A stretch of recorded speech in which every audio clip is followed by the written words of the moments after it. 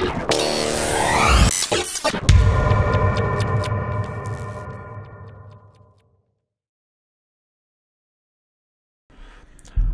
привет! В этом видео о том, как удалить ненужные языки ввода Windows 10. После последнего обновления Windows 10 многие столкнулись с тем, что в языках ввода появились ненужные языки, то есть дублирующие какой-то основной, например, русский язык, и неудаляемые в параметрах.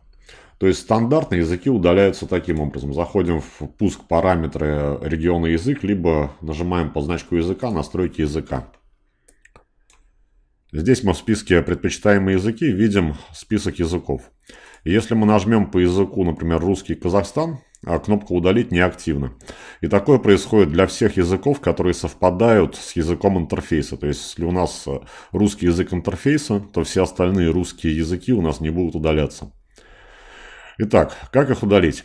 Первый способ.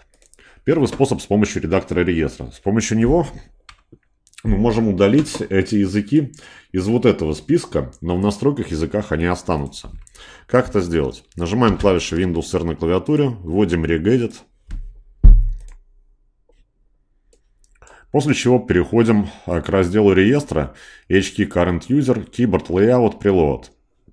И здесь удаляем те значения, которые нам не нужны.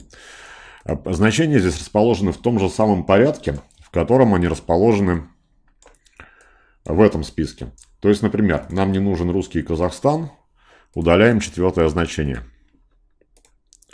После этого, когда мы перезагрузим компьютер, либо выйдем из системы и снова зайдем, русский Казахстан здесь уже отображаться не будет.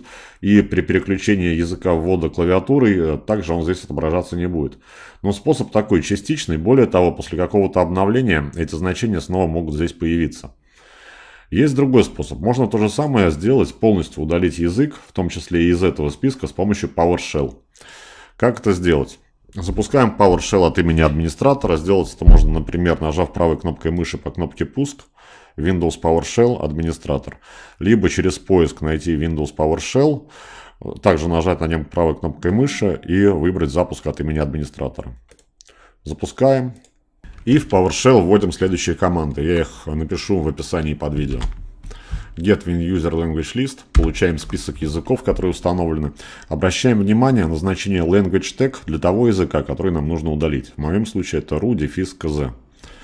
Далее используем такие команды.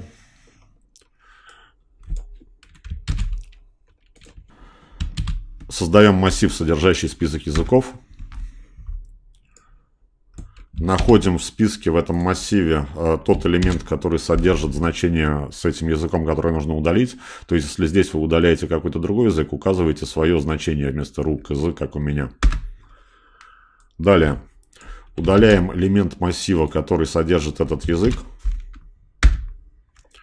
И последний пункт. Применяем новый список языков к Windows. Готово. После этого, если вы зайдете в список языков, у вас э, языка ненужного уже не будет. Вы, наверное, сейчас заметили, у меня здесь произошел глюк, но после перезагрузки он исчезнет. То есть вот этот неизвестный языковой стандарт исчезнет из списка.